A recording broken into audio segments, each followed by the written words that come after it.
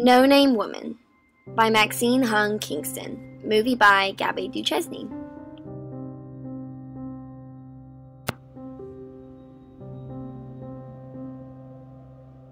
The No Name Woman is a tale of a woman who resides in China.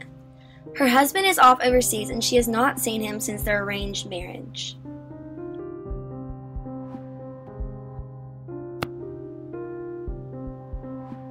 The woman is raped and finds herself pregnant. She is shunned by the villagers and by her family for having an affair. She cannot defend herself because of the patriarchal culture, which will favor her rapist.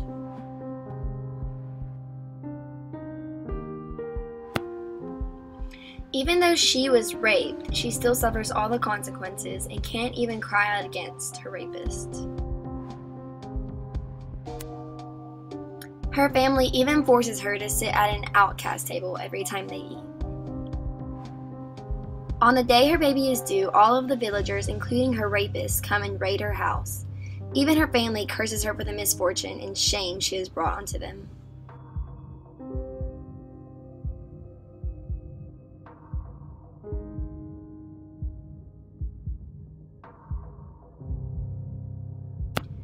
The villagers ransack her house and kill all the animals on the farm.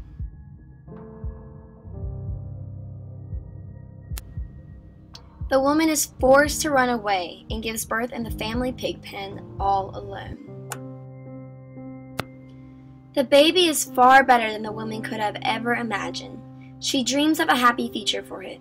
Unfortunately, she is fully aware that the baby is cursed to live a horrible life because of her misfortunes.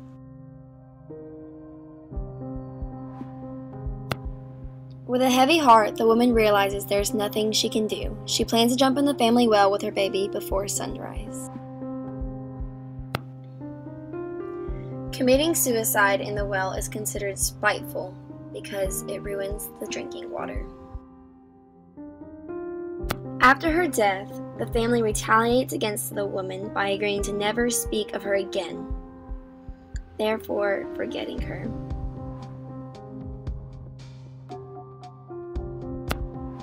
In Chinese culture, this is considered one of the worst punishments. She is not even given a tombstone with her name on it. This story is a prime example of patriarchy's effect on rape culture in China. Because even though the woman was raped, she is still held accountable by her society's patriarchal values. She was literally shunned by everyone, including her parents, and with nowhere to run and no one to protect her, the woman is forced to commit suicide.